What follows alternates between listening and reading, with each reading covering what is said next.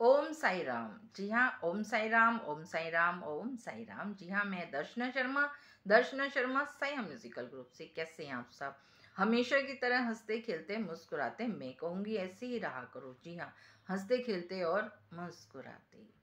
शिरडी साई की लीला में आज का हमारा प्रसंग है, बाबा का तत्वों पर नियंत्रण। जी हाँ बाबा का तत्वों पर नियंत्रण।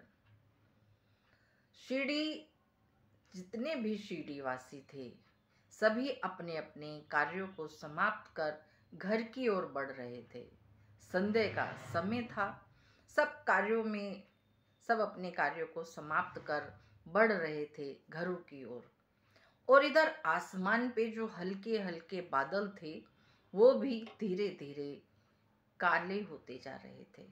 जी हाँ आसमान में घने काले बादलों का होना और हवा का धीरे धीरे चलना और धीरे धीरे हवा का भी विकराल रूप लेना। जी हाँ एकदम हल्की हवा ने विकराल रूप ले लिया, वो भी आंधी का।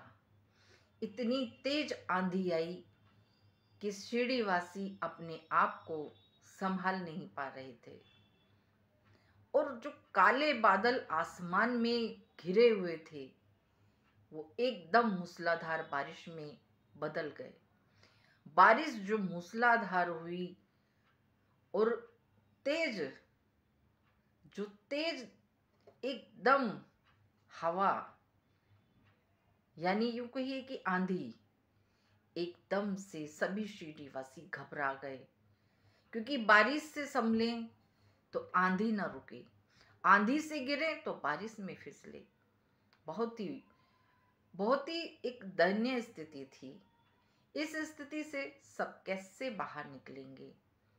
मैं दर्शना शर्मा, अगले प्रसंग में। ओम साई राम।